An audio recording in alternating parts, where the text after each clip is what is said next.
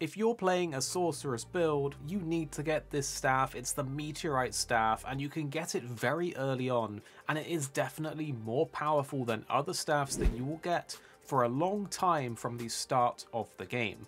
It's an int scaling staff with S rank for that scaling, which is extremely good, especially compared to the other early game staffs, and it even has a bonus passive effect that boosts gravity sorcery spells, which just makes this staff even better.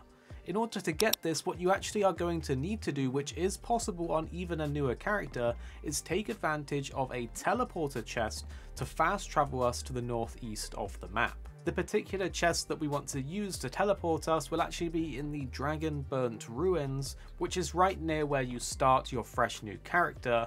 I do recommend that you grab your horse first, so progress until you get your horse, then go to these ruins, kill the mobs around these steps, go down underground, kill the giant rats, open the door and activate the chest to be teleported.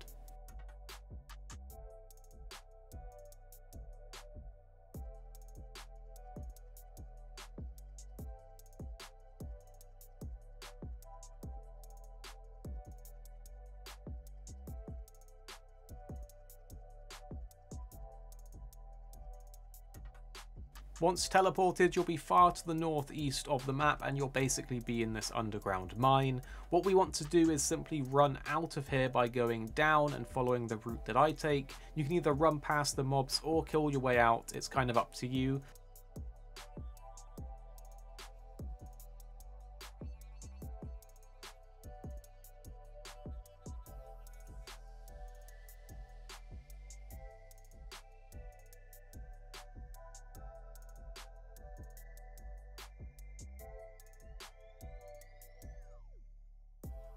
Once you're actually outside, follow my route to the west until you get to the location where I stop.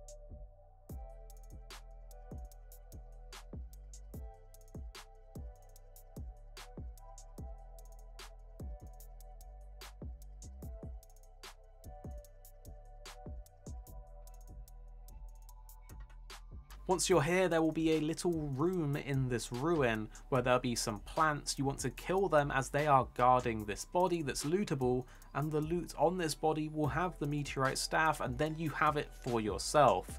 And while you're actually here, there's another thing that you can do nearby by taking a little detour to find these steps that lead underground, and once you get to the bottom you'll find the Rock Sling spell, which pairs perfectly with the Meteorite Staff as it's a gravity spell, so it gets that bonus damage from the passive effect. If you know of any other good spell or staff or magic item related things, let us know in the comments down below and we can all share our knowledge together. If you did find this one helpful, please click like down below and subscribe for the other Elden Ring videos on the channel, or you could click the link on the screen now as we've got you covered with plenty of Elden Ring guides, tips and locations.